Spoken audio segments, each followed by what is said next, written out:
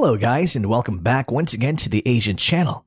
And today we are going to talk about India's Defense Acquisition Council, or DAC, has cleared the purchase of 12 additional Su 30 MKI heavyweight air superiority multi role fighter jet from Russia. This would certainly give an additional boost to the already formidable Indian Air Force. The Su 30 MKI is one of the most capable fighter on the Indian Air Force. The Su 30 MKI is developed by the Sukhoi Design Bureau from Russia, but 60% of the ordered Su 30 by India would be produced locally under license, and the 40% would be kits delivered by Russia and it would be assembled in India. The newer Su 30 MKI would be the most modern Su 30 in the India Air Force, and it would be equipped with multiple Indian weapons and sensors.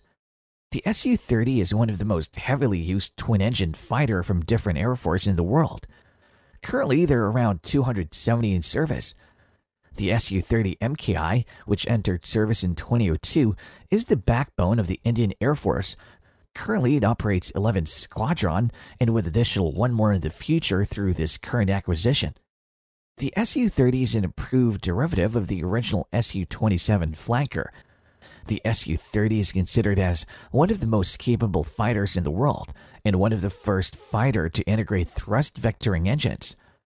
Although the initial Su 30 MKI manufactured in India at first was produced with lower efficiency due to inferior manufacturing quality compared to the airframes built in Russia, and the aircrafts produced in India was almost twice more expensive but it was a huge step for India to improve its technical knowledge in the aviation industry manufacturing.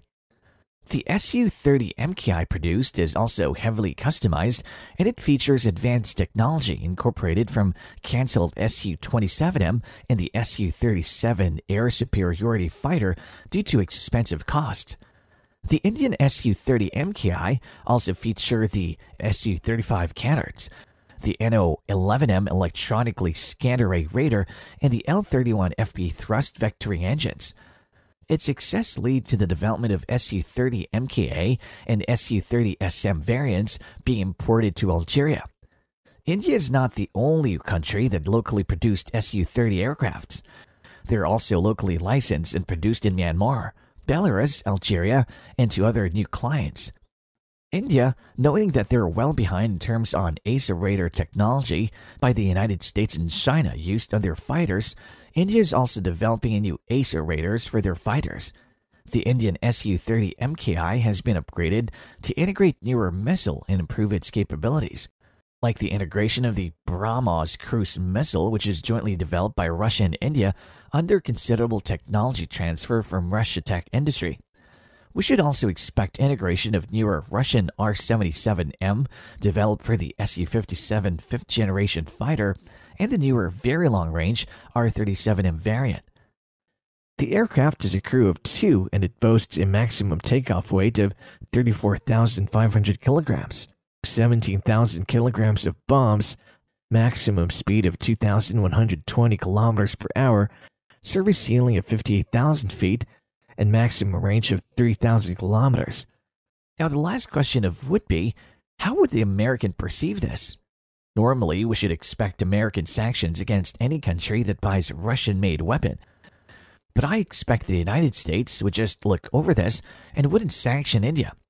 The US openly admitted that they wouldn't sanction India when they purchased the S 400 air defense system from Russia in 2021.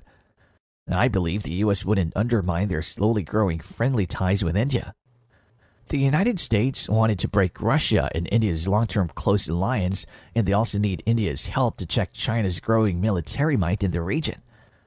They just recently convinced India to join the Quadrilateral Security Dialogue, or Quad, between the United States, Australia, and Japan, which is seen as an alliance to check China in the Asian region. And that's all for today. Thank you for watching. If you want more topics like this, don't forget to subscribe to our channel. See you soon.